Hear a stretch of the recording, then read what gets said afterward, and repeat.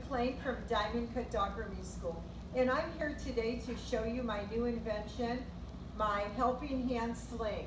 I invented this sling because through the years of grooming dogs, I found that there's a lot of dogs I know myself that are very hard to groom. And without this sling, I even have a hard time grooming them. And when I invented this sling, I found out that dogs are comfortable, they're very relaxed, they're easy to groom, they don't jump around, they're not going around a circle or standing up, and they're very secure and very safe.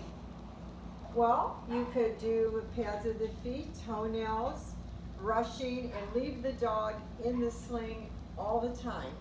And then, if you like, you could also take down the bottom and make the dog down on the table closer.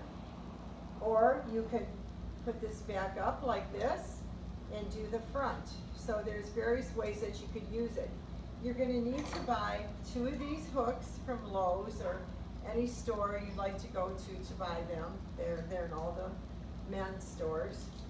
And um, these come in various sizes. We have, this is a medium, and we have a small for smaller dogs.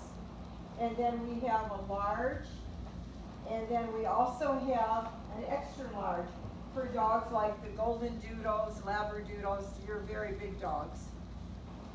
So you're gonna really like to use our sling and um, you can find these on our website, which is www.schoolfordoggrooming.com. And I'm sure you're gonna like them. You're gonna be able to groom all those hard dogs.